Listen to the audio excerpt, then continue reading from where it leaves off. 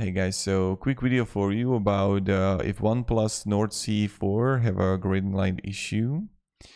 Now, all OLED phones can have a green line issue. Samsung has it, iPhones have it, the other Chinese brands phone have it.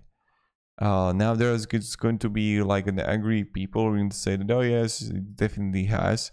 But this is video is going to be a little bit different what I'm going to tell you. What I encourage you to do is listen to your own intuition if you should buy this product. Because when I listen to my own intuition, I always do the right choice. So look at the product and feel it if you should buy it. Don't trust the reviewers, don't trust anyone, only yourself.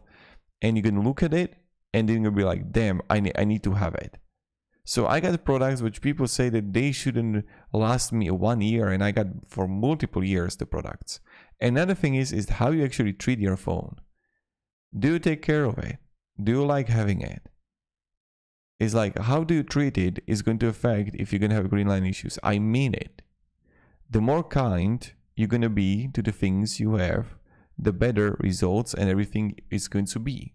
So, yeah, you want to learn how to be in love with the thing that you have.